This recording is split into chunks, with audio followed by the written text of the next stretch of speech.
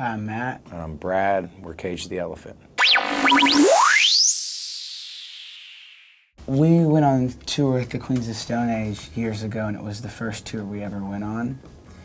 And um, somehow they thought we were a Canadian band, so they like because uh, the, the first thing that we ever signed was a publishing deal in Canada, so they take out different bands. Um, uh, wh- wherever they get to a, t- a territory, they'll take out a band that's from that area.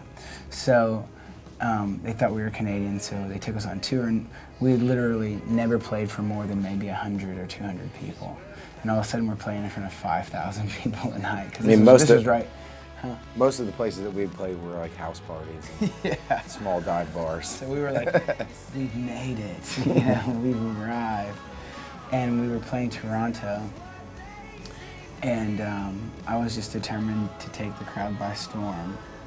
And uh, the rest of the band hadn't even like started into the song yet. They were just making noise, like feedback and stuff like that. And so I come out, s- out on stage and I directly run and just stage dive.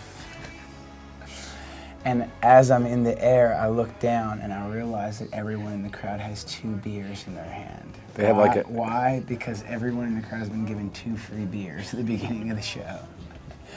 And so now they're faced with the difficult decision of free beer or guy I don't even know who your band is flying through the air. Needless to say, they parted like the Red Sea, Yeah, and Matt fell on the ground. yeah, and I didn't even hit any branches on the way down.